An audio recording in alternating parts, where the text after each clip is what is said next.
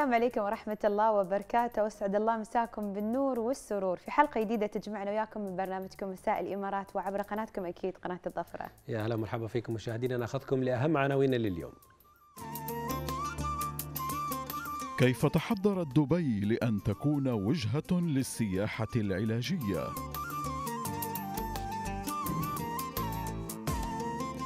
منتدى فاطمة بنت مبارك للأمومة والطفل تركيز على الطفل ومستقبله. وشهادة حية عن زايد الخير.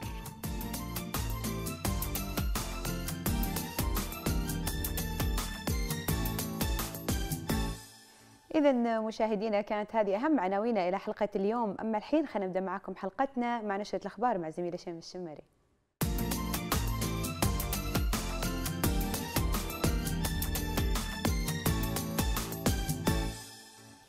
مرحبا بكم وإلى نشرة الأخبار. بعث صاحب السمو الشيخ خليفة بن زايد ال نهيان رئيس الدولة حفظه الله برقية تهنئة إلى فخامة العماد ميشيل عون رئيس الجمهورية اللبنانية وذلك بمناسبة عيد استقلال بلاده. كما بعث صاحب السمو الشيخ محمد بن راشد المكتوم نائب رئيس الدولة رئيس مجلس الوزراء حاكم دبي رعاه الله وصاحب السمو الشيخ محمد بن زايد ال نهيان ولي عهد أبو ظبي نائب القائد الأعلى للقوات المسلحة برقيتي تهنئة مماثلتين إلى فخامة الرئيس العماد ميشيل عون.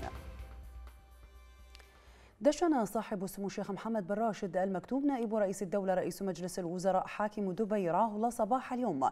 منتزه جامعة الإمارات للعلوم والابتكار واحة العقول في مقر الجامعة بمدينة العين. وذلك بحضور سمو الشيخ حمدان بن محمد بن راشد المكتوم ولي عهد دبي ومعالي محمد بن عبد الله القرقاوي وزير شؤون مجلس الوزراء والمستقبل ومعالي إحسين بن إبراهيم الحمادي وزير التربية والتعليم.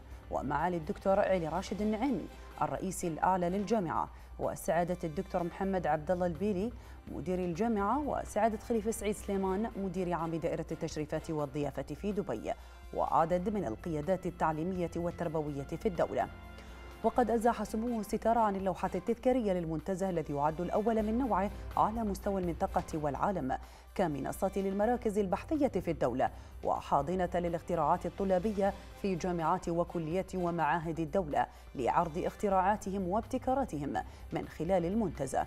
تفقد سموه المشاريع المعروضة لطلبة جامعة الإمارات وجامعة خليفة والقيادة العامة لشرطة أبو ظبي التي تعرض في المنتزه بمناسبة أسبوع الإمارات للابتكار. يكرم صاحب السمو الشيخ محمد بن راشد المكتوم نائب رئيس الدولة رئيس مجلس الوزراء حاكم دبي رعاه الله يوم الاثنين المقبل 45 شخصية إماراتية وجهة رائدة ومتميزة في محور القراءة ضمن الدورة الثالثة من مبادرة أوائل الإمارات والاحتفاء بجميع الإنجازات التي تحققت خلال عام القراءة. وذلك على مختلف الأصعدة. في حفل وطني كبير يقام في العاصمة أبو ظبي بالتزامن مع احتفالات اليوم الوطني أو باليوم الوطني الخامس والأربعين لقيام اتحاد دولة الإمارات. وكان صاحب السمو الشيخ محمد بن راشد المكتوم قد قد وجه مؤخرا بتخصيص حفل أوائل الإمارات هذا العام لتكريم الشخصيات والجهات الاتحادية والمحلية. إضافة إلى مؤسسات القطاع الخاص التي ساهمت في دعم القراءة خلال عام القراءة. أصدر صاحب السمو الشيخ محمد بن زايد آل نهيان ولي عهد أبو ظبي نائب القائد الأعلى للقوات المسلحة. رئيس المجلس التنفيذي لإمارة أبو ظبي قرارا بإعادة تشكيل مجلس إدارة شركة التطوير والاستثمار السياحي برئاسة سعادة محمد خليفة أحمد المبارك. نص القرار على عضوية أصحاب السعادة والسادة محمد سعيد الخيالي ومحمد عامر المر النيادي وعلي الحاج عبد الله خليفة المحيربي ومحمود إبراهيم محمود المحمود وخالد عبد الله الماس وجاسم محمد رفيع الصديقي. استقبل صاحب السمو الشيخ محمد بن زايد آل نهيان ولي عهد أبو ظبي نائب القائد الأعلى للقوات المسلحة اليوم في قصر الشاطئ فخامة داني فور رئيس جمهورية سيشل الذي يزور البلاد حاليا. استعرض الجانبان خلال اللقاء فرص الاستفادة من من المقومات والإمكانيات المتعددة في كلا البلدين تمهيدا لإقامة الشراكات الفعالة في المجالات الاقتصادية والاستثمارية والتجارية والتنموية والسياحية. وبما يعود على البلدين بالمنفعة المتبادلة. كما استعرض الجانبان عدد من التطورات والمستجدات الدولية والإقليمية ذات الاهتمام المشترك وتبادلا وجهات النظر حولها. وأكد سموه خلال اللقاء أن دولة الإمارات بقيادة صاحب السمو الشيخ خليفة بن زايد آل نهيان رئيس دولة حفظه الله تربطها علاقات متميزة ومتطورة وبناءة مع جمهورية سيشيل في العديد من المجالات. من جانبه أعرب فخن الدانيفور عن سعادته بزيارة دولة الإمارات والاطلاع على تجاربها التنموية وتقدمها في كافة المجالات. شهد صاحب السمو الشيخ الدكتور سلطان بن محمد القاسمي عضو المجلس الأعلى حاكم الشارقة الرئيس الفخري لاتحاد كتاب وأدباء الإمارات صباح اليوم في قصر الثقافة شهد انطلاق الدورة السابعة لملتقى الإمارات للإبداع الخليجي التي ينظمها الاتحاد وتستمر ثلاثة أيام. ويعالج موضوع الطفولة تربية الإبداع. وكان في استقبال سمو معالي الشيخ نهيان بن مبارك آل نهيان وزير الثقافة وتنمية المعرفة وعدد من كبار المسؤولين. أعرب معالي الشيخ نهيان بن مبارك آل نهيان في كلمته عن تقديره واحترامه لصاحب السمو الشيخ الدكتور سلطان بن محمد القاسمي لرعايته الملتقى والتي تجسد قناعة سموه بدور الثقافة والإبداع في مسيرة الأمة وتأكيد مكانتهما في حياة الفرد ونهضة المجتمع. هذا وبدأت فعالية الملتقى بعزف السلام الوطني لدولة الإمارات وتلاوة آيات بينات من الذكر الحكيم عقبها تم عرض فيلم تسجيلي قصير بعنوان الساعة. يبرز مدى أهمية قضاء وقت كاف مع الأبناء وعدم إهمالهم بحجة الانشغال في توفير لقمة العيش الكريمة لهم بعدها قدم طلاب وطالبات المدارس فقرة موسيقية غنائية عن حب الوطن في لوحة فنية تجسدت من خلالها إبداعات الطفل.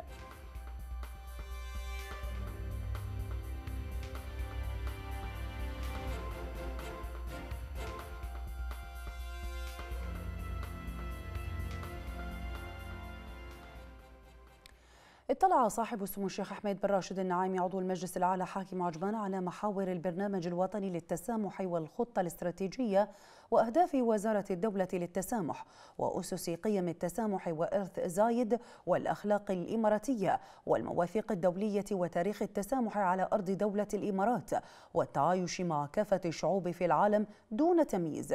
جاء ذلك خلال استقبال صاحب السمو حاكم عجمان لمعالي الشيخ لبنى بنت خالد القاسمي وزيرة دولة للتسامح بحضور عدد من الشيوخ وكبار المسؤولين.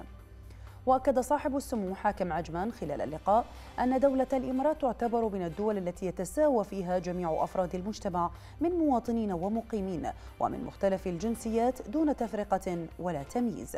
وقال سموه إن الفضل في ذلك يرجع للمبادئ الإسلامية والأسس السليمة التي أرساها مؤسس الدولة المغفور له بإذن الله الشيخ زايد بن سلطان آل نهيان طيب الله ثراه. وبفضل من الله واهتمام القيادة الرشيدة بهذا الأمر تعتبر دولة الإمارات نموذجا ومثالا للتسامح وتعايش الشعوب. كما أنها تتبوأ مكانة مرموقة على الصعيدين الإقليمي والعالمي. واستمع سموه والحضور من معالي الشيخ لبنى بنت خالد القاسمي إلى استعراض حول محاور البرنامج الوطني للتسامح وأهم ملامحه العامة. أكد صاحب السمو الشيخ سعود بن راشد لمعلى عضو المجلس الأعلى حاكم أم القوين أن دولة الإمارات بقيادة صاحب السمو الشيخ خليفة بن زايد آل نهيان رئيس الدولة حفظه الله وصاحب السمو الشيخ محمد بن راشد آل مكتوم نائب رئيس الدولة رئيس مجلس الوزراء حاكم دبي رعاه الله وصاحب السمو الشيخ محمد بن زايد آل نهيان ولي أبو ظبي نائب القائد الأعلى للقوات المسلحة. أصبحت نموذجا ومثالا للتسامح والتعايش بين الشعوب وتتبوأ مكانة مرموقة على الصعيدين الإقليمي والعالمي. واستمع سموه خلال استقباله معالي الشيخ لبنى بنت خالد القاسمي وزيرة دولة للتسامح إلى عرض من عن البرنامج الوطني للتسامح. وأثنى صاحب السمو حاكم أم الكيوين على جهود معالي وزيرة الدولة للتسامح والفريق المساعد لها في العمل على نشر رسالة دولة الإمارات للعالم في قيم التسامح والوسطية والاعتدال. افتتح سمو الشيخ حمدان بن راشد المكتوم نائب حاكم دبي وزير المالية رئيس مجلس إدارة شركة دوبل القابضة. فعاليات الدورة العشرين للمؤتمر العربي الدولي للإلمنيوم عربال أكبر تجمع لشركات صناعة الإلمنيوم في الشرق الأوسط. تحت عنوان تحديات عالمية حلول مشهودة في مدينة جميرة بدبي.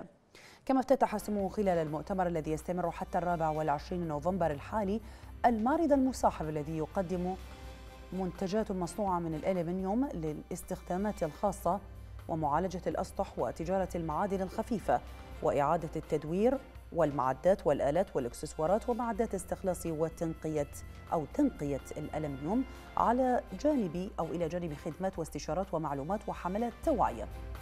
حضر الافتتاح سمو الشيخ أحمد بن سعيد آل مكتوم رئيس هيئة دبي للطيران الرئيس الأعلى لمجموعة طيران الإمارات وعدد من كبار المسؤولين. ترأس سمو الشيخ سلطان بن محمد بن سلطان القاسمي ولي عهد ونائب حاكم الشارقة رئيس المجلس التنفيذي صباح اليوم بحضور سمو الشيخ عبد الله بن سالم بن سلطان القاسمي نائب حاكم الشارقة نائب رئيس المجلس ترأس اجتماع المجلس التنفيذي لإمارة الشارقة وذلك في مكتب سمو الحاكم. ناقش الاجتماع العديد من الموضوعات الحكومية الهامة ودراسة الخطط والمشروعات المستقبلية بما يسهم في تحقيق التنمية الشاملة وتوفير الحياة الكريمة لهم. أو لجميع المواطنين والقاطنين على أرض الإمارة بعد التصديق على محضر الجلسة السابقة اطلع المجلس على عدة تقارير وناقش عدة مقترحات ووجه بدراستها والتنسيق مع الجهات المعنية. وناقش عدة مشاريع أيضاً. كما وأصدر المجلس قرارا باعتماد رسم محلي قدره عشرة دراهم لدعم الأبحاث العلمية في الإمارة. يبدأ العمل بالقرار اعتبارا من الأول من يناير 2017 تسلمت معالي الدكتورة أمل عبد الله القبيسي رئيسة المجلس الوطني الاتحادي دعوة رسمية لزيارة الجزائر على رأس وفد من المجلس من معالي الدكتور محمد العربي ولد خليفة رئيس المجلس الشعبي الجزائري لبحث سبل تعزيز روابط الصداقة القائمة بين البلدين الشقيقين وتبادل الرؤى بشأن القضايا الإقليمية والدولية. جاء ذلك خلال استقبال معاليها في مقر المجلس في العاصمة أبو ظبي سعادة صالح عطية سفير الجمهورية الجزائرية الديمقراطية الشعبية لدى الدولة الذي سلمها الدعوة.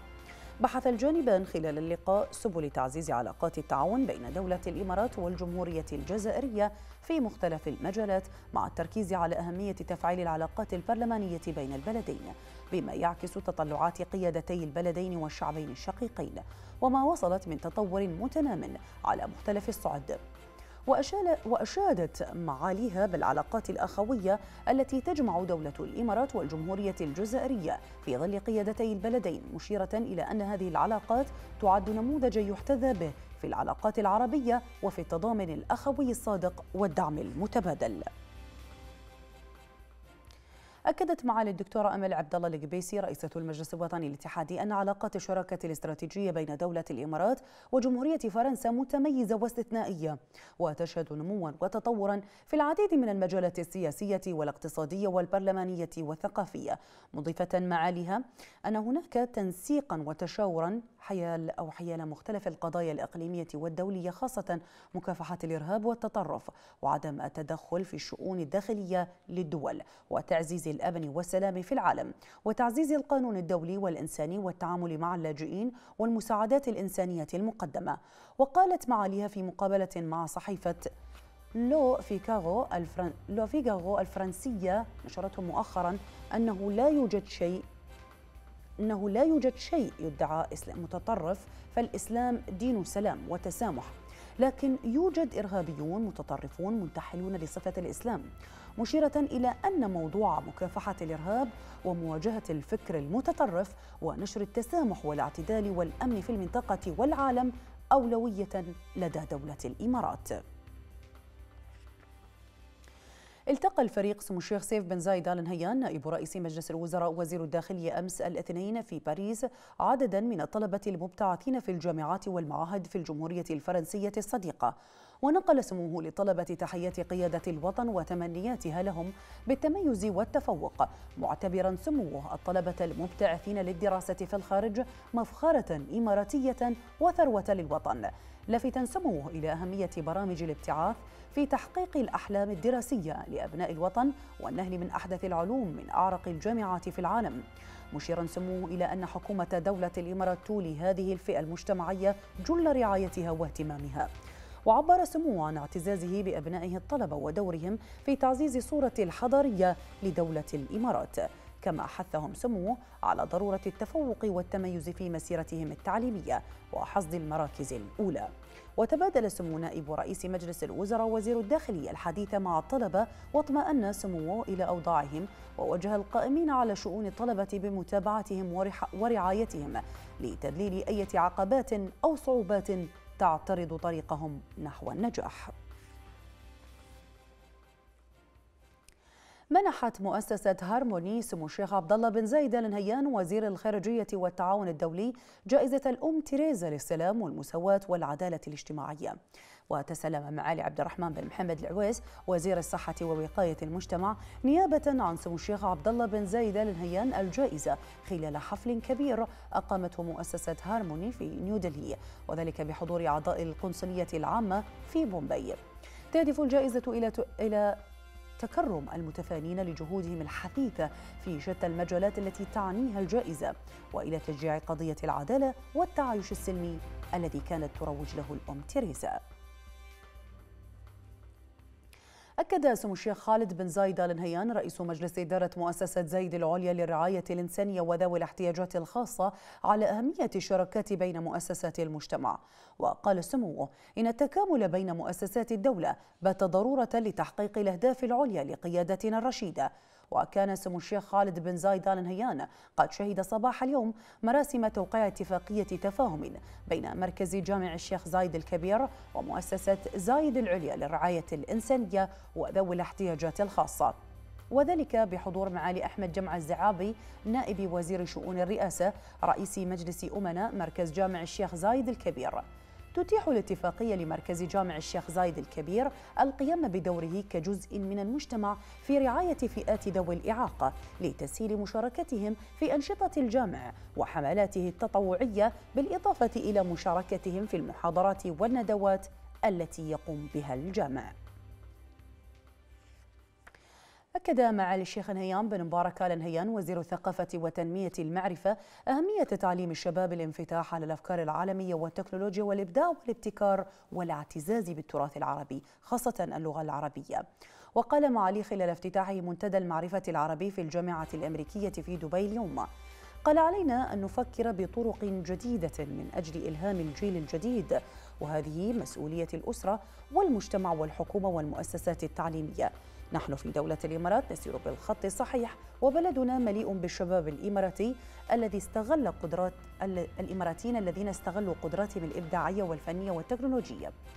كرم معالي الشباب الخريجين المتميزين وتوجهم بلقب فرسان حيث شمل التكريم عددا من خريجي الجامعة الأمريكية في دبي.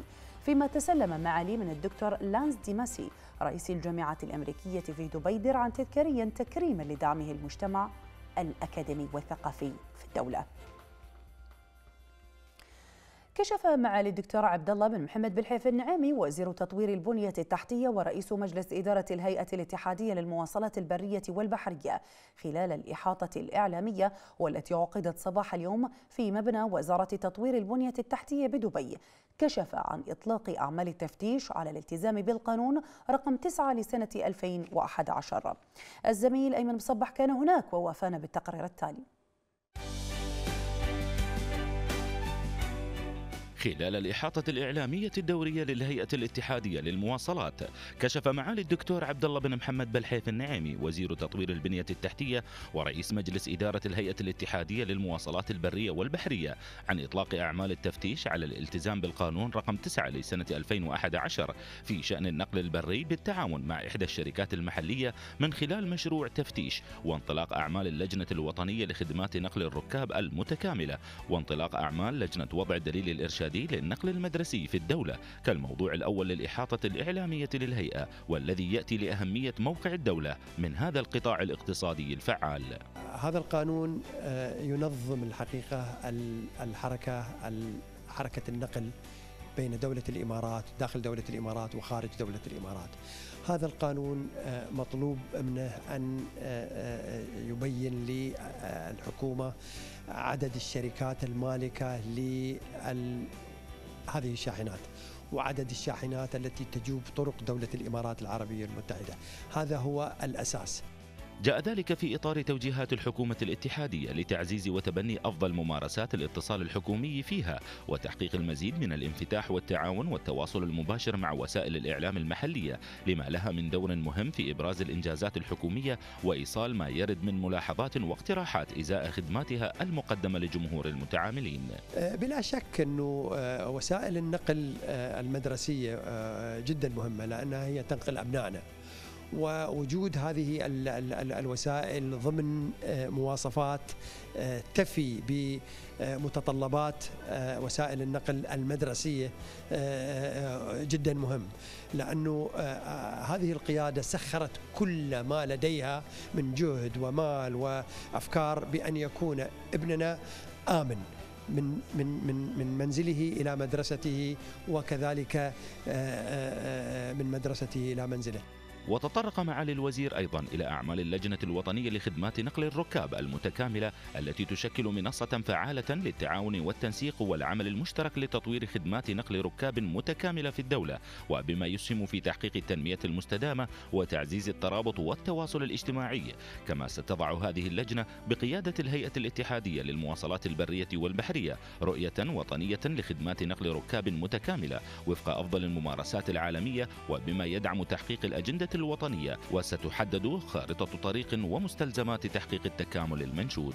هذا وفي الختام فتح باب الحوار والنقاش وتلقي الأسئلة من ممثلي وسائل الإعلام والإجابة عليها بما يحقق الهدف المطلوب من تنظيم الإحاطة الإعلامية. أيمن مصبح قناة الظفرة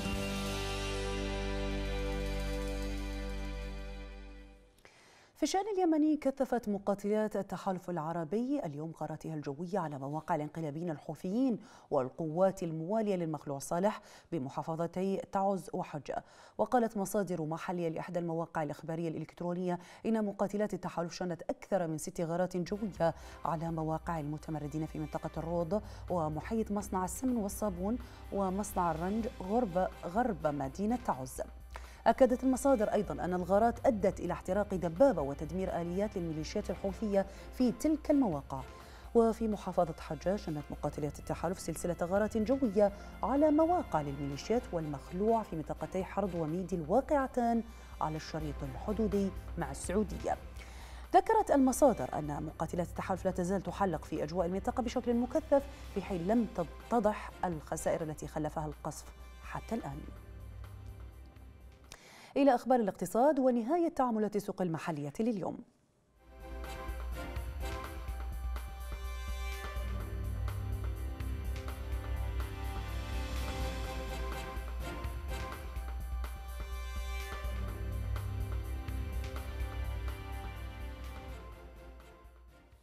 وإلى حالة الطقس ودرجه الحرارة العظمى والصغرى المسجلة في دولة الإمارات لليوم أيضا.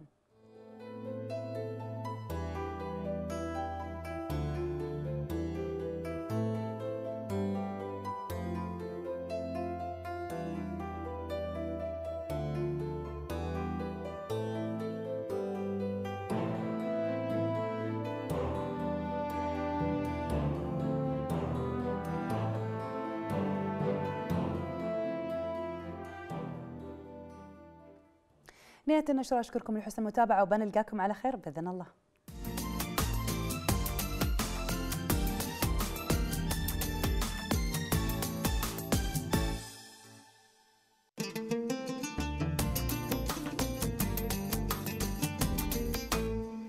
التحية لكم من جديد مشاهدين ومستمرين معكم في فقراتنا المتنوعة وصلنا معكم إلى حوار المساء.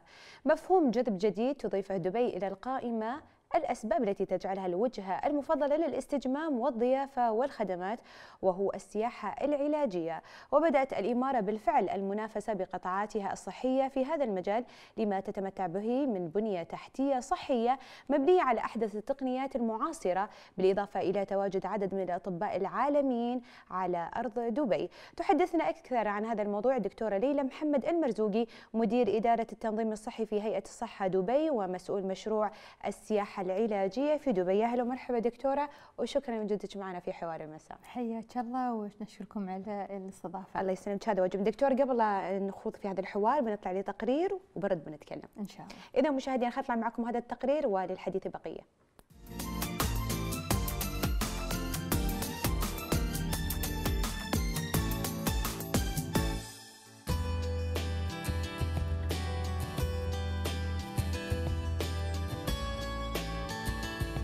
تتبوأ دولة الإمارات العربية المتحدة مكانة مرموقة على خارطة السياحة العلاجية عالميا لما تمتلكه من بنى تحتية وإمكانيات بشرية تؤهلها لأن تصبح عاصمة السياحة العلاجية وذلك بفضل دعم القيادة الرشيدة للدولة والخطط الطموحة للارتقاء بالخدمات العلاجية وجعل الدولة منصة عالمية لتبادل الخبرات والمعرفة في المجالات المختلفة خاصة الطبية منها.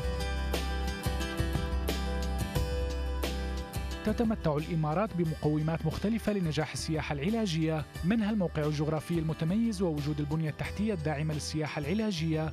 من فنادق ومراكز تجارية وأنشطة تراثية وثقافية والاستقرار السياسي والأمني والاقتصادي حيث تتوافر عناصر البيئة السياحية والإقليمية والدولية مما يعطي فرصة لنمو القطاع بشكل متسارع. وكذلك وجود التشريعات المتطورة والمرنة التي تؤهل قطاع السياحة العلاجية للمنافسة بقوة وتصدر الريادة. إلى جانب وجود بنية تقنية متطورة تتوافق وتوجهات الحكومة الذكية مما يوفر منصة مثالية لتطوير شبكة بيانات صحية متخصصة عالمياً.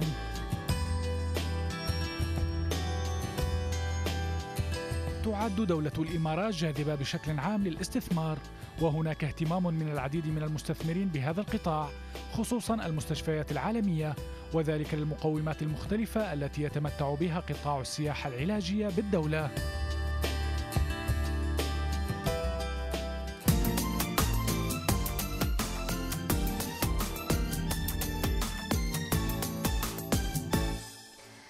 طبعا دكتور ارجع ارحب فيك مرة ثانية. شفنا التقرير مع بعض. آه، عادة يوم نتكلم نحن سياحة الناس تي في بالها دائما إن هي تتمشى تغير جو تروح الاماكن عادية أو الآثار اللي موجودة في المنطقة. أما آه، مفهوم السياحة العلاجيه يمكن جديد هو المف... طبعا سؤال وايد جميل إنه يخطر على كثير من أذان المشاهدين نعم. يعني شو معنى السياحة العلاجية. آه، طبعا إحنا من آه، المفهوم هذا ليس مفهوم جديد بل هو موجود لفت يعني زمن طويل. آه لكن إحنا في في في دولة الإمارات المفهوم هذا بدينا نعززه بعد ما طرحنا الاستراتيجية السياحة العلاجية. معنى السياحة العلاجية إن الواحد يترك البلده اللي هو فيها ويروح بلاد ثانية لقصد العلاج وقصد آه، الاستجمام اللي انت تفضلتي فيه من البداية. آه، والسائح العلاجي نفس الشيء يعني اللي يروح أي منطقة ثانية بقصد تلقي العلاج ومثل ما شفنا التقرير بأن إمارة دبي لها كل المقومات المناسبة صحيح. للسياحة وللعلاج. يعني هي بروح الواحد إذا بيتمشى في دبي بيتعالج ما يحتاج يمر مستشفيات ما شاء الله. زين دكتورة كيف تشوفين واقع السياحة فعليا في في دبي وخصوصا العلاجية؟ آه، طبعا مثل ما شفنا في التقرير أن إمارة دبي هي هي آه، نحن عندنا كل المقومات والبنى التحتية اللي تشجع السياح انهم الإمارة بقصد السياحة. نعم. نحن اليوم عندنا أطول برج في العالم وأكبر آه، مول آه، أو مركز آه، تجاري في العالم وعندنا ما شاء الله المترو والترام يعني كل المقومات اللي تساعد السائح بأنه يترك بلاده ويجي بقصد السياحة في إمارة دبي. نحن شفنا المقومات هذه كلها وبنينا استراتيجية السياحة العلاجية على أن نحن عندنا المستشفيات والمنشآت الصحية من عيادات وجراحات اللي هو مراكز جراحات اليوم الواحد صحيح. إن هي فيها مثل عندنا نحن الحاصلة المنشآت هذه حاصلة على الاعتمادات الدولية وكذلك عندهم أحدث الأجهزة وعندهم التخصصات المختلفة. فبنينا هذه الفكرتين هذيلا مع بعض وطلعنا باستراتيجية السياحة العلاجية لإمارة غير هذا دكتور يعني ما شاء الله بناء على أغلبية الصحف اللي كانت تتكلم في نفس الموضوع كانوا يقولون إن أعظم الدكاترة الموجودين حول العالم خصصوا وجهتهم إلى دبي لأن يعرفون كمية السياحة اللي موجودة فيها مصداقية هيئة السياحة أيضا والصحة لأن ما بيبون أي دكتور إلا إذا كان له تاريخ مؤرق في الطب.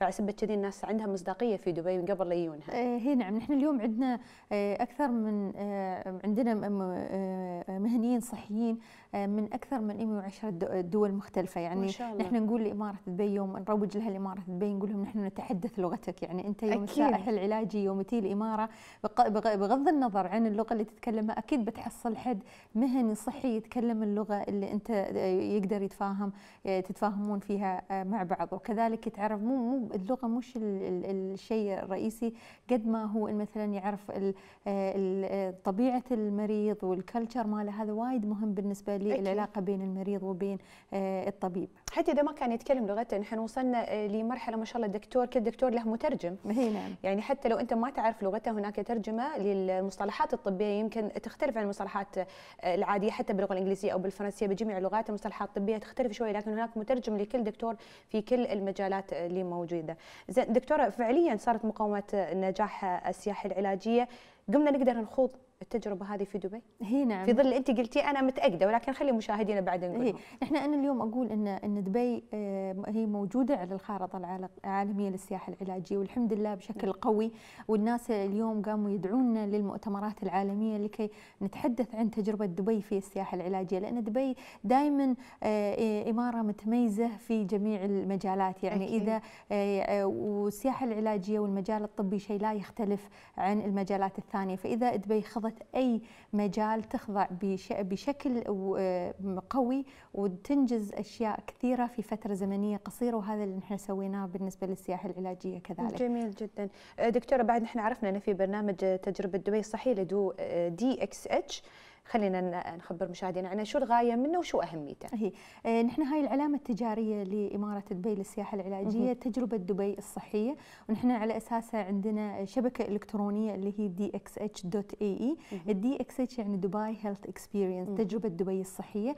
وعندنا كذلك تطبيقات التطبيق الذكي لل DXH اللي المست المشاهد المريض ممكن أو إن المشاهد أو إن المريض اللي يبي إمارة دبي ممكن انه يتصفح الشبكة الإلكترونية والتطبيق التطبيق الذكي والشبكة هذه هي أول نافذة إلكترونية عالمية تضم كل المعلومات وكل المعلومات اللي يحتاجها السائح العلاجي من من الباقات العلاجية من المنشآت الصحية الموجودة في إمارة دبي. كذلك من تأشيرة السياحة العلاجية وكذلك التأمين الصحي للسائح العلاجي بالإضافة إلى أنه يقدر يحجز تذكرته ويقدر يحجز الفندق اللي يحب يجلس فيه وكذلك معلومات عن إمارة دبي بشكل عام. يعني دكتورة هو اللي يحجز ولا أنتم تتكفلون في التصاريح دخول الفيز الإقامات الفنادق الأماكن اللي بيروح لها. ترشحون الدكتور اللي يكون الأفضل لحالته اللي موجودة المرضية لأن عادة المريض إذا كان من خارج الدولة ممكن يطرش الملف ماله. للدكتور يعرض حالته المرضية ويتم الاختيار على دكتور معين. الأصلح لعلاج هذه الحالة. أيوه نحن على على الشبكة الإلكترونية هاي عندنا باقات لكل المنشات الموجودة معنا واللي عددها 25 منشأة. فتشوفين مثلا الطب إذا هي مثلا يحتاج مثلا علاج للمفاصل مثلا أو لتبديل المفاصل في الأطباء ذاكرين أسماء الأطباء وذاكرين شوي نبذة عنهم وعن خبرتهم وعن شهاداتهم. وكذلك ذاكرين عن العمليات اللي الطبيب هذا اللي ممكن يؤديها. فهو عن طريق الشبكة الإلكترونية يتعرف على الطبيب ويتعرف على المنشأة اللي بيتعالج فيها وهو يروح ويحجز بعد الفندق ويحجز التذكرة وهو يسويها. وبعدين إذا عنده أي استفسار وإذا يحب يحجز أي موعد يسويه عن طريق الشبكة الإلكترونية بالتعاون مع المنشآت الصحية أو إنه ممكن يتواصل معنا نحن كهيئة الصحة في دبي لأي استفسار أو أي مساعدة هو في حاجة إليها. جميل. دكتورة السياحة العلاجية لا تظن فقط المرض العضوي إن كان يعني بعيد الشر مرض حقيقي موجود ممكن يكون حتى عن عمليات بلاستيك سيرجري اللي هي عمليات التجميل كذلك. هي نعم. إحنا اليوم وصلنا ما شاء الله الدكاترة اللي عندنا من كل حول العالم ينعى سبه التجميل هي نعم هي مثل ما تفضلتي نحن في المرحلة الأولى من مرحلة المشروع ركزنا على السبع تخصصات وهذه التخصصات هذه تكمن في تخصصات التجميل وتخصصات التجميل بالنسبة للبشرة وبالنسبة للأسنان وكذلك ال wellness وال check up يعني إذا حب إذا حد يبغى يشيك على الصحة العامة مو شرط إنه يكون مريض يعني بس جاي إنه يبي يشيك على صحته كال check السنوي اللي يسويه كل مريض وكذلك عمليات تخفيف الوزن وكذلك عمليات ال ال الإخصاب كذلك هاي من التخصصات اللي نحن ركزنا يعني عليها. دكتورة نقول إن هذه أكثر الحالات العلاجية اللي موجودة في دبي لأن كل دولة مختصة في علاج يعني فلنفرض يقول لك إذا. عندك عظام تروح لألمانيا إذا عندك في في الرحم أو عندك قلة في الحمل ممكن تروح الجنيف. كل بلد حاطين لها شيء. نحب. شو تميزنا اليوم في دبي نعم. سؤال جميل لأن لأن ما نقدر نحن اليوم آه، ولا دولة في العالم تقدر تقول آه، إن إحنا زينين في كل شيء. فكل دولة مثل ما تفضلتي انهم تخصصات معينة هم آه، يبرزون في في التخصص هذا. فنحن في إمارة دبي ركزنا على سبع تخصصات اللي تخصص العيون والجلدية والأسنان والاخصاب والمفاصل وكذلك الصحة العامة اللي هي والنس والتشيك اب يعني هذا الأهم شيء تكلمنا فيهم ما شاء الله تميزت دبي في كل شيء. زين دكتورة خلينا بعد نتكلم في الباقات المقدمة من البرنامج التسهيلات اللي ممكن تصير عن طريق ال DXB DXH من التسهيلات اللي ممكن يعني مثل ما قلت إن هي النافذة متكاملة إلكترونية. طبعا هي الأولى في العالم. حتى الحين الدول الثانية قامت آه، تستعين فينا نقول كيف سويتوا هذا الشبكة هذه وكل ممكن نستفيد من خبرتكم وماليزيا كانت من الدول هذه اللي استفادت من خبرتنا في آه، الشبكة الإلكترونية هذه. آه، فممكن بأن السائح العلاجي اللي اماره دبي ممكن يستفيد من خدمة التأمين الصحي للسائح العلاجي. الخدمة هذه السائح العلاجي يستفيد منها بحيث إن لا قدر الله إذا صار شيء آه، طبعا إحنا في أي دولة ممكن الواحد يتعالج في الطب ما في شيء اسمه 100% العملية اللي تسويها بتنجح. لكن نحن اليوم نعطي آه، آه، نطمن السائح العلاجي نقول لا قدر الله إذا صار شيء فنحن هناك منه في شيء يحميك في إمارة دبي هو التأمين الصحي بأن التأمين هذا يضمن لك إن خلال الفترة اللي تلي بعد العملية الجراحية إذا لا قدر الله صار شيء إنك التأمين هذا يسمح لك ان ترجع لإمارة دبي وتتعالج ويكون لك مرافق ويتكفل التأمين بتكلفة العلاج وتكلفة الإقامة والسفر. يعني أنت ضامن حقك كذي في حالة الله لا يقول بعيد الشر إنه صار في شيء. عندك عندك كل البنود اللي تحفظ حقوقك كمريض وكسائح في كل الأمور. هي طبعا لأن إحنا حتى بعض المرضى يجونا هنا يقولوا لنا يعني نحن ما نحب نروح دول معينة لأن لا قدر الله إذا صار شيء آه، خطأ طبي خلاص ما في حد ياخذ حقهم. لكن كون إن المشروع هذا يقع تحت هيئة الصحة وهي الجهة الرقابية على القطاع الخاص فهذا شيء يعزز من المشروع يعطي قوة وطمأنينة للسائح أكيد العلاجي. أكيد دكتورة لكل مشروع أو لكل مبادرة آه، يكون أساسات ويكون في دعاية وإعلان عنها ومؤتمرات ومبادرات بناء عليها،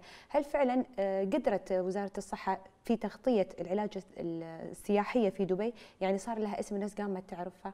هي نعم نحن اليوم يعني الإحصائيات اللي حصلنا عليها شفنا إن كثير من الناس يعني حتى الإحصائيات هذه بهرتنا يعني نحن كنا كنا نطلب يعني نأمل إن العدد السياحي اللي يجون لإمارة دبي آه، في فتره ل 2021 يكونون 500 ألف سائح جايين من برا الإمارة، السنة اللي طافت كان عندنا أكثر من 620 ألف سائح جايين من داخل الإمارة من داخل الدولة من المناطق الثانية من أبو ظبي مثلا وراس الخيمة والإمارات الشمالية ومن برا الدولة، من عدد السياح اللي كانوا جايين من برا الدولة 47% كان من العدد هذا. يعني نحن تقريبا وصلنا 300 ألف آه، سائح هذه السنة اللي طافت بس من المنشآت الصحية اللي هي المستشفيات. يعني إحنا اليوم عندنا المراكز جراحة اليوم الواحد وعندنا العيادات التخصصية آه، هذه فيها الكثير من السياح اللي يجون بس إن شاء الله السنة هذه بدينا أن نجمع الإحصاءات منهم فالعدد هذا بيكون أكبر إن شاء الله. في خطة مستقبلية يا دكتورة أن في زيادة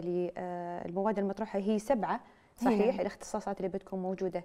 وين بتوصل السياحة العلاجية في مستقبل دبي؟ آه طبعا إحنا نبى آه, آه، بحلول 2021 إن ال 500 ألف سائح علاجي يكونون موجودين معنا ويكونون وكذلك الهدف الثاني إن إمارة دبي تكون الأولى في منطقة الشرق الأوسط في السياحة العلاجية وتكون من ضمن 15 الدول على قائمة الأوائل في السياحة العلاجية عالميا.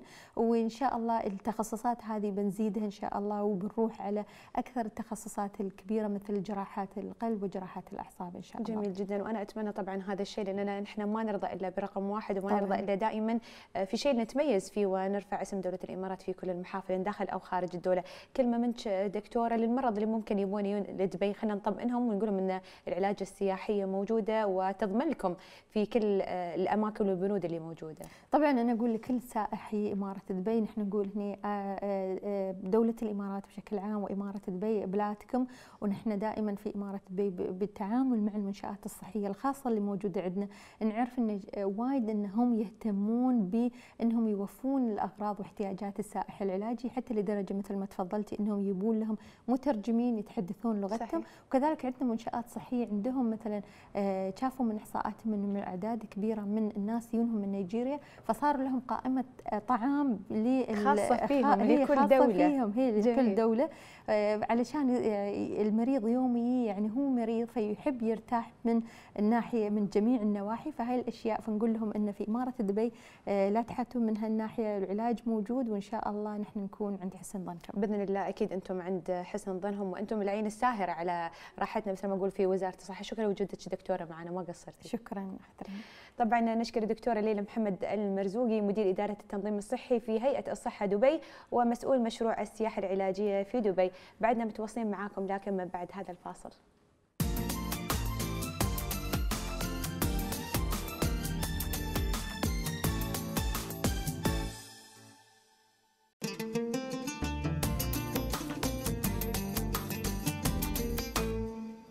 يا مرحبا بكم مشاهدينا مرة ثانية. طبعا اللي يحب يتواصل ويانا يقدر من خلال مواقع التواصل الاجتماعي الخاصة بقناة الظفرة واللي تظهر أمامكم كل فترة وثانية على شاشتنا طبعا شاشة قناة الظفرة. أول شيء عندنا اليوم من وين ومن؟ من تويتر. نبدأ من تويتر. تبدأ جولتنا على مواقع التواصل الاجتماعي حيث نشر صاحب السمو الشيخ محمد بن راشد آل مكتوم نائب رئيس الدولة رئيس مجلس الوزراء حاكم دبي رعاه الله على صفحته الرسمية تغريدات تحدث فيها عن مكتبة محمد بن راشد. وقال المكتبة ليست مكانا للكتب بل هي جنة للمثقفين وملتقى للشباب. طبعا وهي حاضنة أيضا للأفكار وهي واحة وراحة ووسط مدينتنا ومنارة للمعرفة في منطقتنا.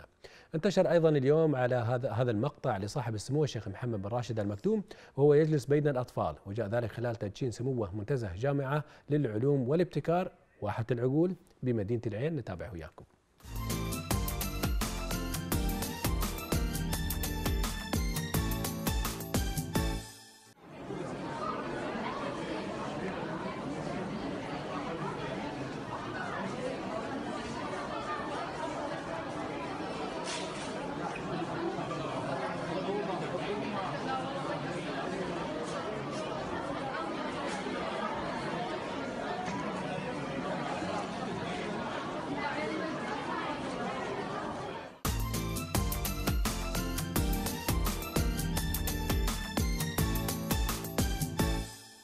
ربي يحفظها الابي والد. نعم القائد ونعم الأب نعم ما شاء الله الله يحفظها إن شاء الله. رب دائما يعني يوم يدخل مكان تحسي المكان يتحول إلى ساحة من العطاء، ساحة من الإيجابية. أكيد الله يحفظهم شيوخنا ويطول باعمارهم.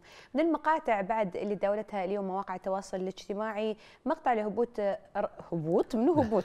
هبوط رائع لطائرة A360 التابعه لطيران الإمارات في أجواء ماطرة ورياح قوية. صباح اليوم في مطار أمستردام. نعم طيارة 380 380 380 عشان تعرفين ثقافه انجليزيه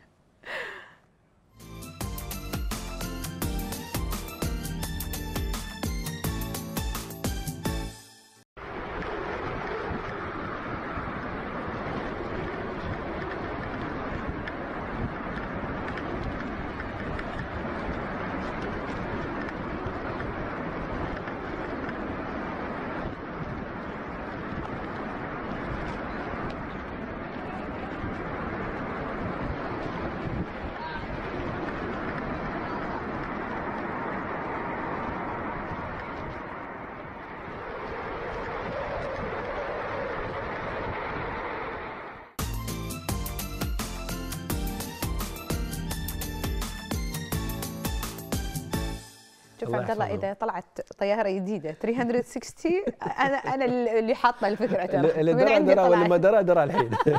مشاهدينا الله يحفظهم طبعا ويحفظ كل من في الطائرات وكل من يزور بلادنا بالذات أكثر شيء طبعا. اللهم آمين. آمين يا رب. نروح معاكم إلى أبرز عناوين الصحف المحلية الصادرة اليوم نبداها في عناوين الخليج ونقرأ فيها. يونس الخوري يؤكد لخليج بدء العمل على مشروع قانون إعسار للإفراد ويقول إن تطبيق الضريبة الانتقائية قبل المضافة غير مستبعدة. نتابع أيضا في عناوين الإمارات اليوم. أسواق إلكترونية تروج لحيوانات محظورة وطيور نادرة في الدولة والبيئة ترصد التجاوزات وتضبط المخالفين والعقوبة تصل إلى الحبس والغرامة. آه كيفكم؟ عاد نحن نحن نوهنا الحين. أما إلى الرؤية نقرأ بقايا الركاب تورط السائقين وحساسات عدادات التكاسي تغرم قائديها رسوم رحلات بلا ركاب. الله يعينهم والله. السائقين بعد عليهم لود كبير ترى. يعني ما تطلع في التاكسي تاخذ فاتورة يقول لك ادفع. طب أنا ما ركبت التاكسي يا جماعة. مشاهدينا ختام عناوين الصحف من البيان واللي نقرأ في عناوينها. ثلاث أشهر سجن و250 ألف درهم غرامة لشاتم عبر واتساب. يعني الحين الله يعينكم. إيه. لا حد يشتم حد. نبقى في الأخبار المحلية ومتابعين معاكم متابعين جولتنا بعد أخبار الصحف إلى جولة على فعاليات أسبوع الابتكار. اللي شهد مشاركات متميزة من كل من وزارة الصحة والقيادة العامة لشرطة دبي والإدارة العامة للإقامة وشؤون الأجانب. خلينا نروح معاكم إلى هذا التقرير مشاهدينا.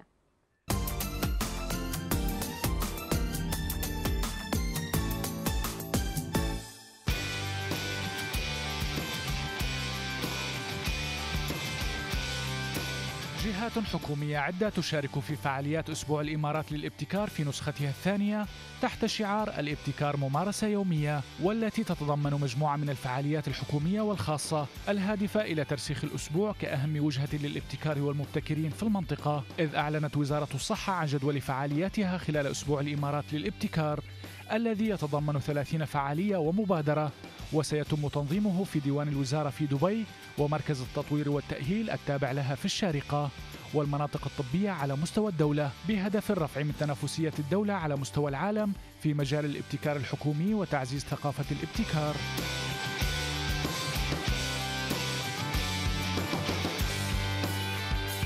كما أعلنت الإدارة العامة للإقامة وشؤون الأجانب في دبي عن مشاركتها في أسبوع الإمارات للابتكار وتشارك الإدارة في الحدث بأجندة حافلة بالعديد من الأعمال والابتكارات المبدعة والأنشطة والملتقيات.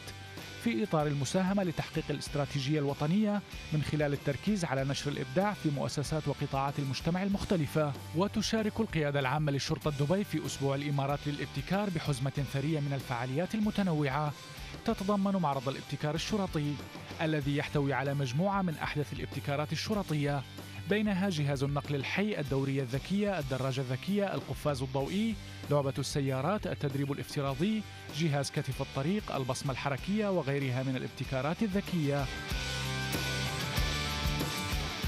نجحت دولة الإمارات في إيجاد بيئة محفزة لذوي الأفكار المتميزة من خلال مبادرة أسبوع الإمارات للابتكار وغيرها من المبادرات التي تمهد الطريق لبناء اقتصاد المعرفة عبر التركيز على عدة قطاعات رئيسية منها الطاقة المتجددة والتكنولوجيا والتعليم والصحة والنقل والمياه والفضاء وحث جميع أفراد وفئات المجتمع على المشاركة بفعاليات الأسبوع واستقطاب العقول وتحفيزها على توليد الأفكار المبتكرة واستكشاف المواهب الواعدة لتبنيها ودعمها في تصميم حلول مبتكرة للتحديات المستقبلية.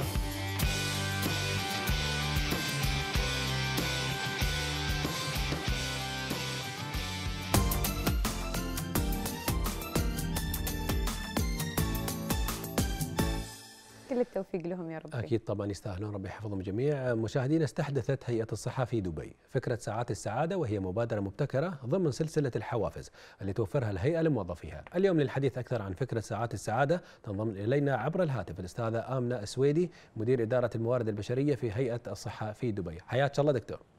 يا مرحبتين هلا هلا مرحبتين أخوي عبد الله. الله يسلمك يا رب. بخير وسلامة الحال. يا هلا ومرحبا سيدة آمنة. بداية إذا بتخبرينا عن مضمون ساعات السعادة ونعرفها لمشاهدينا أيضا. إن شاء الله. إحنا طبعا أول بداية نشكركم على الاستضافة. واجبنا الغالي. الله يخليك حبيبتي.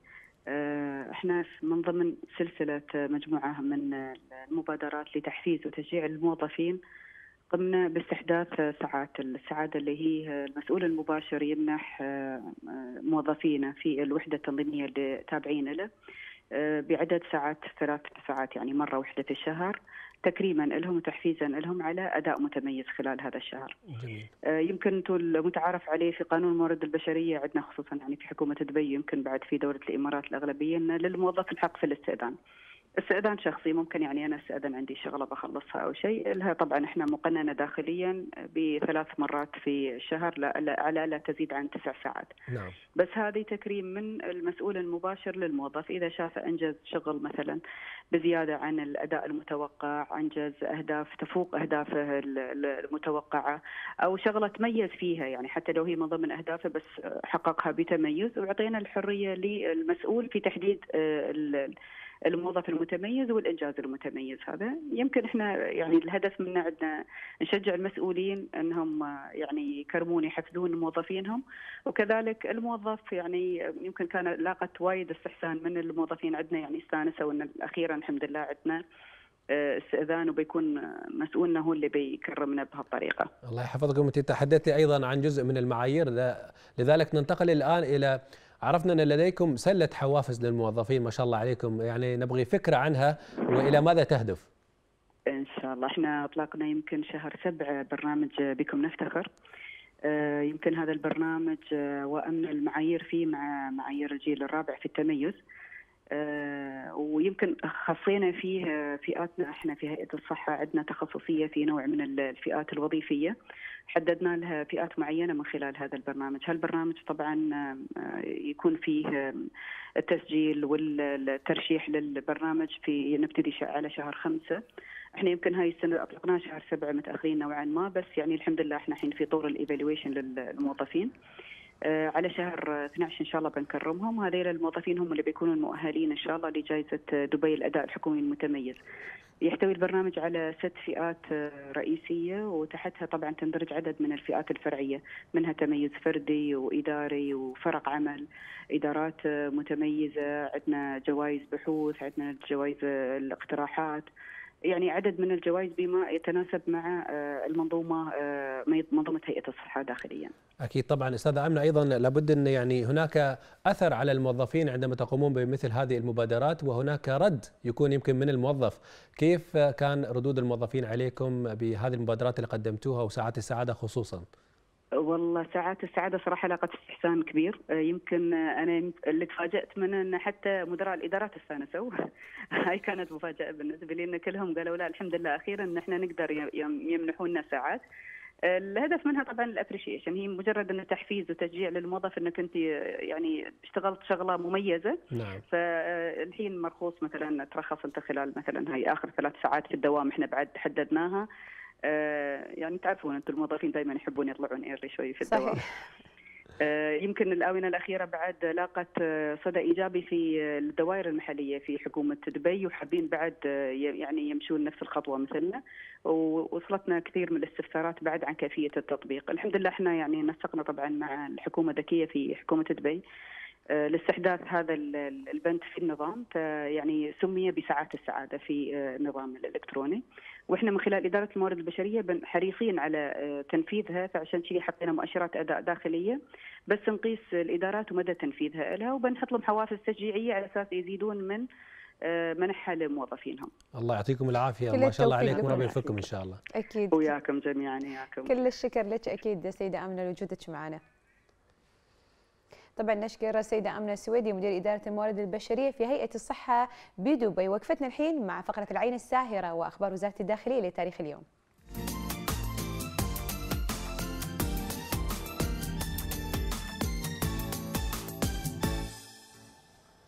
ترأس معالي الفريق ضاحي خلفان تميم نائب رئيس الشرطة والأمن العام في دبي مجلس قيادات الشرطة بوزارة الداخلية الذي عقد بنادي ضباط الشرطة في دبي صباح اليوم. وذلك بحضور أعضاء المجلس وعدد من كبار الضباط بالوزارة. وتم خلال الاجتماع بحث آلية تحديد وتقييم المخاطر على البيئة التحتية الوطنية وعدد من الموضوعات ذات الصلة بتطوير العمل الشرطي والأمني في الدولة والذي يتوافق مع تطبيق الخطة الاستراتيجية لوزارة الداخلية. كما أيضا تم خلال الاجتماع مناقشة مؤشرات وإحصائيات تتعلق بالجرائم المقلقة بالدولة وأهم الإجراءات المتخذة بهذا الشأن. ضمن فعاليات أسبوع الإمارات للابتكار في نسخته الثانية دشنت شرطة رأس الخيمة مشاركاتها في معرض الإبداع والابتكار بمركز رأس الخيمة للمعارض تحت شعار الإمارات تبتكر. وقام سعادة اللواء علي بن علوان النعيمي القائد العام لشرطة رأس الخيمة بجولة تعريفية حول أجنحة الشرطة المشاركة ضمن عدد من الأجنحة بالمعرض وتعرف على ما يتضمنه من مشاريع وابتكارات خاصة بالشرطة. شهد سعادة العميد سيف الزري الشامسي قائد عام شرطة الشارقة صباح اليوم جلسة العصف الذهني وذلك بمركز إكسبو بالشارقة والتي نظمتها القيادة العامة وهو في إطار فعاليتها الخاصة بأسبوع الإمارات للابتكار بحضور عدد من كبار ضباط الشرطة الشارقة إلى جانب عدد من طلبة جامعة بالدولة ووجه سعادته الطلبة باستمرار التواصل مع الشرطة وتقديم المقترحات التي تساهم في تطوير العمل وحل المشكلات المختلفة التي تقابل بكل عناية واهتمام. نجحت فرق الدفاع المدني بأبو ظبي في تنفيذ تمرين استراتيجي في نفق الشيخ زايد بالعاصمة أبو ظبي تعزيزا للاستعدادات لكوادرها والتأكد على إبقائهم بالجاهزية القصوى للتعامل مع أي طارئ. وبالتنسيق مع الشركاء لضمان القدرة على التنسيق الفعال في مواجهة الحوادث.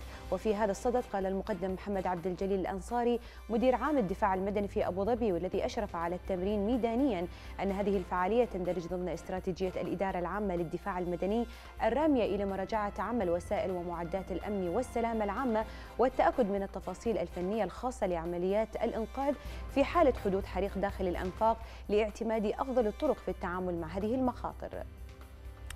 مشاهدينا كانت هذه أخبار وزارة الداخلية من فقرة العين الساهرة. فاصل ونعود إليكم.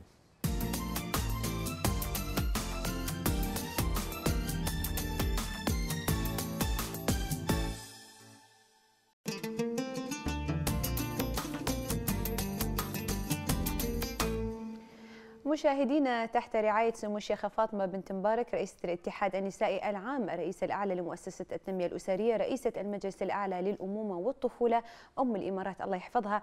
انطلقت أعمال منتدى فاطمة بنت مبارك للأمومة والطفولة في العاصمة أبو ظبي والذي يركز على الاهتمام بقضايا الأطفال في العالم كله والإعداد السليم لحاضرهم ومستقبلهم ومسؤولية الجميع في توفير حياة ناجحة لهم. وتزامنا مع المنتدى انطلق هاشتاج منتدى فاطمة بنت مبارك للأمومة والطفولة. يحدثنا أكثر عبر الهاتف المدون محمد سليمان الشحي مساك الله بالنور محمد.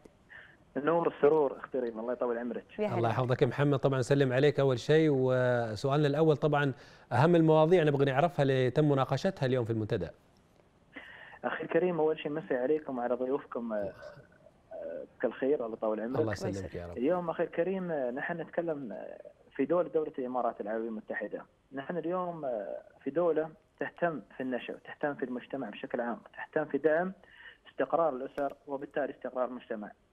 الله يطول عمرك اليوم. إذا نظرنا القيادة عندنا قيادة كريمة ومعطاءة تسعى للتميز دائما في بناء الإنسان على أكمل وجه وجعلت أهم الاستثمار لها هو الإنسان. صحيح. فهذا شيء يعني من الشيء الطبيعي استك...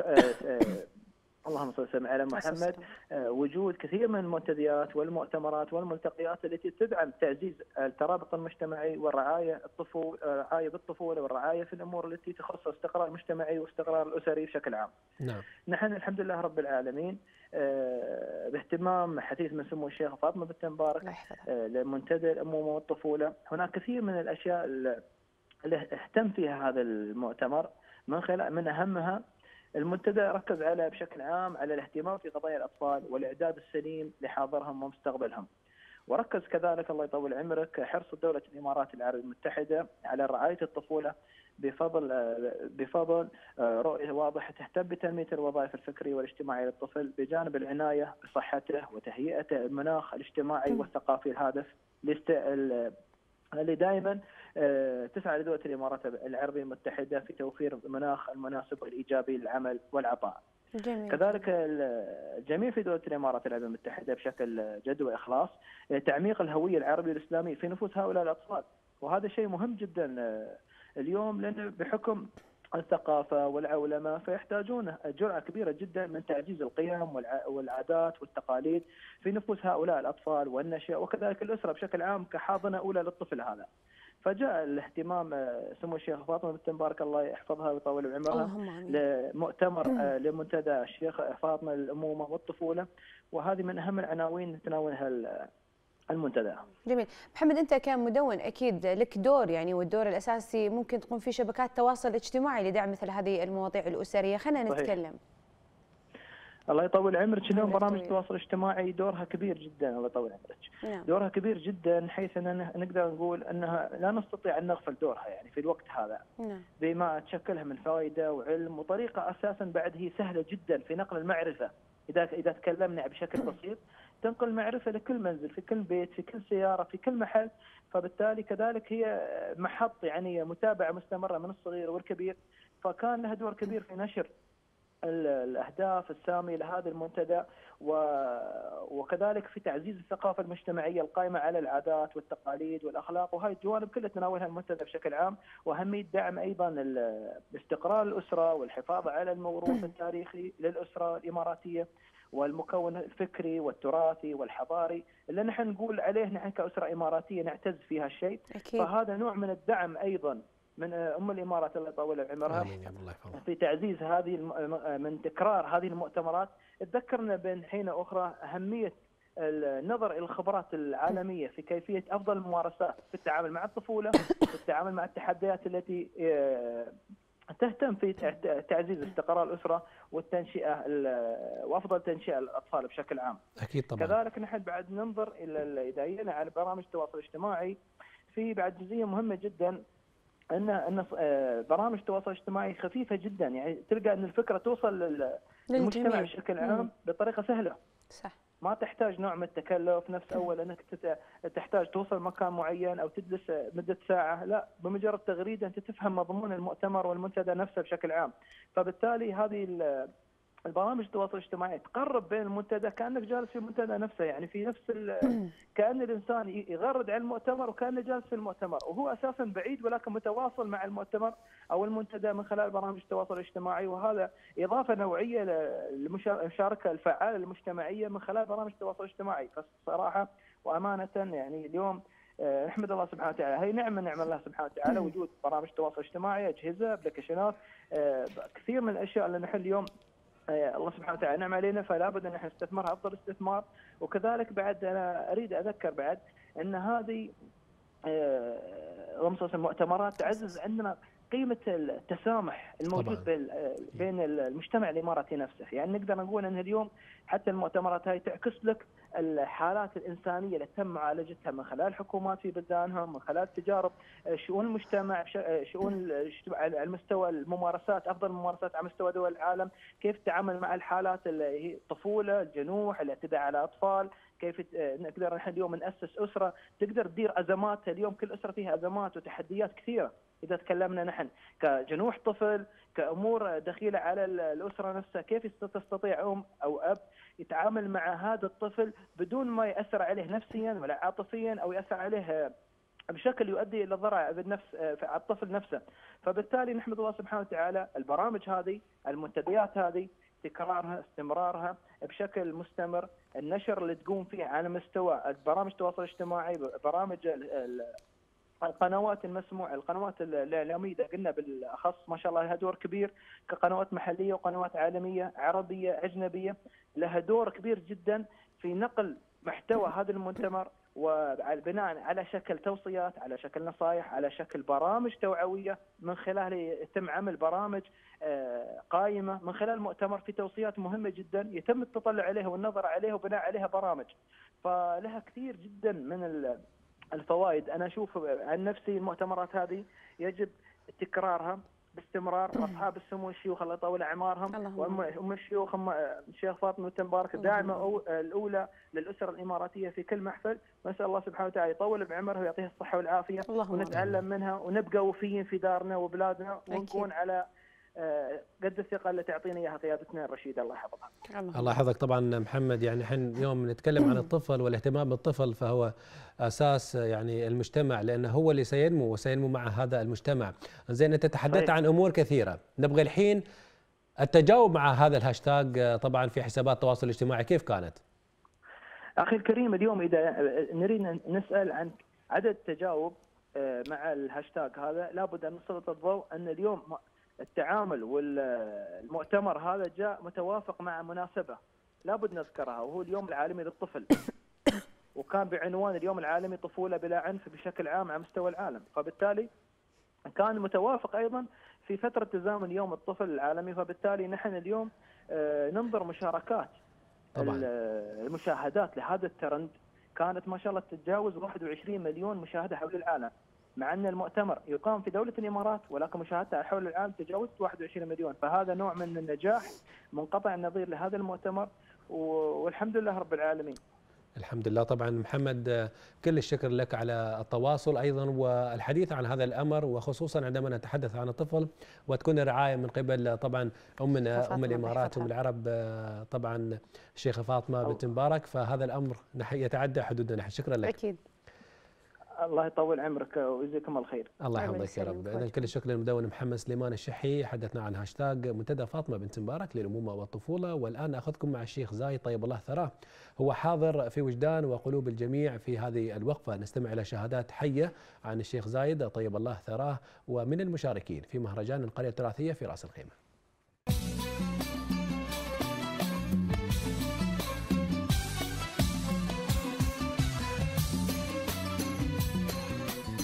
مرحبا ساعة فيكم مشاهدينا الكرام متواجدين معكم في القرية التراثية وبتغطياتنا الدائمة لكل هذه الفعاليات المتميزة. اليوم تقريرنا بيكون جدا متميز لأن عن المغفور له بإذن الله الشيخ زايد بن سلطان آل نهيام ودوره في قيام اتحاد دولة الإمارات العربية المتحدة. تابعونا في هذا التقرير. حكم شيخ زايد وقبض وقبض ابو ظبي يعني الغنى من كل مكان. الآن وحين الحمد لله غنانا مكان للتحين شبانين الحمد لله. ويانا ويا ويانا وكلهم اللي عرسوا واللي أخذوا بيوت. قبل اذن بيوت مخازن مال حصى الحين لدورين وثلاث أدوار. اختنينا عن اول عن حالتنا الأولية. ذكريات وايد ما شاء الله عليه. عمر أبو ظبي عمرها طورها. سوى البنايات سوى المولات سوى كل شيء يعني فيها ما شاء الله عليه. يعني كان أول أبو ظبي صحراء ما شيء ما شيء حتى يعني النخلة ما فيها غافة ما فيها نخلة الغافة ما فيها. وهو يا يا بمزرعة ويا بالتربة على قولتك سواها خلى الماشيه أبو ظبي خضراء من النخيل من الغاف من يعني من أي شيء أي شيء. ها شارع أبو ظبي من من أبو ظبي تلقى له وين؟ للجريب هذا الحدود مال شو اسمه كل زرعها هو هذا. كل خضرها سواء خضرة يعني أول تلقاه كل تربة يابسة. اسمع وهو عنده فكر عنده تخطيط وخطط. قال خلي أبو ظبي خضراء بدل ما صحراء خليها خضراء عرفت؟ عنده فكر عنده يعني تخطيط عنده مخ يعني ما شاء الله. اولا الشيخ زايد الحمد لله بمثابة الأب الروحي آه، يعني إحنا ما نعتبره كحاكم الشيخ زايد. نعتبره آه، كأب لنا يعني. الشيخ زايد آه، إحنا ما يعني هو فعلا شيخ ولكن إحنا احساسنا بقلوبنا أن الشيخ زايد ابو لنا كنا. علمنا المحبة علمنا كيف الواحد يعني يعني يحب يحب للغير ما يحبه لنفسه. علمنا كيف المآخاه يعني الإنسان حب الغير يعني زرع فينا شيء اسمه حب. بالنسبة لبدايات الاتحاد نحن وين وكنا وين؟ الله يرحم ويغفر ويتوب على الشيخ زايد الذي هو أسس دولة الإمارات. من لا شيء وأصبحنا اليوم نحن في مصارف الدول المتقدمة وبفضل الله ثم فضل الشيخ زايد. فإذا نحن بنقدر وبنحصي الاشياء التي قام فيها الشيخ زايد لا تحصى ولا تعد. من التعليم من الصحة من الطرق من المساكن في الدول في الدولة وخارج دولة الإمارات. فالشيخ زايد يا نعمة من رب العالمين إلى أبناء دولة الإمارات وإلى الدول العربية الأخرى وليس إلى أبناء الإمارات فقط. أن خير الشيخ زايد عم الكل عم داخل الدولة وخارج الدولة واصبحت دولة الإمارات لها كيان لها مقر ان مسموعه ملموسة من كل الجهات الذي معناته يسمع عن دولة الإمارات. فأصبحنا نحن أن بدك أن الشيخ زايد رحل الله يرحمه ويطيب الله ثراه في الجنة. ولكن إذا نحن رحنا خارج الدولة نقول لهم نحن أبناء الإمارات يقولون خلاص أنتم أبناء زايد. إذا ما تشلكم المكان تشلكم العين. ويرجع الفضل الله ثم كله على الشيخ زايد الله يرحمه. ومن ثم بدأ يكمل المسيرة الذي هو سمو الشيخ خليفة. ونحن الحمد لله في نعمة وخير في دولة الإمارات العربية المتحدة. وحاليا في هذه المناسبة أنها مقبلين على احتفالنا في العام 45 لقيام دولة الإمارات العربية المتحدة. واحتفالنا بيكون إن شاء الله مميز. في دولة الإمارات وفي دولة وفي الاحتفال في أي مكان في أبو ظبي في دبي في الشارجه في راس خيمة في الإمارات كلها فيصبح عيدنا هذا نحن نترقبه من كل عام لعام إنه يحصل في هذا اليوم في الذي هو في الثاني من ديسمبر.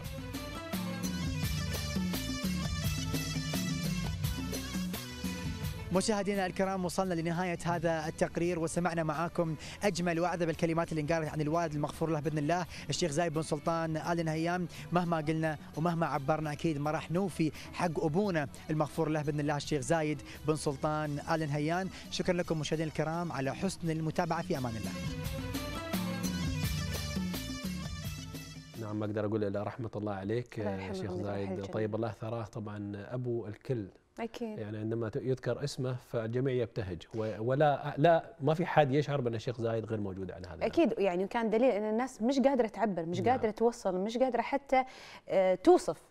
إن كانت على أيامه أو الله يرحمه من عقب وفاته. مش نعم. قادرين يوصفون مدى شعورهم انه فعلا افتقدوه الإنسان وفي نفس الوقت هو موجود, موجود. بيننا نعم. رحمة الله, الله عليه. وطبعا آه الحمد لله الوفاء موجود في أبنائه وفي قادة الإمارات كلهم. الحمد لله. مشاهدينا وصلنا وياكم لنهاية حلقتنا اليوم اللقاء باكر في أمان الرحمن نلقاكم على خير باكر. في نفس الموعد تصبحون على ألف خير.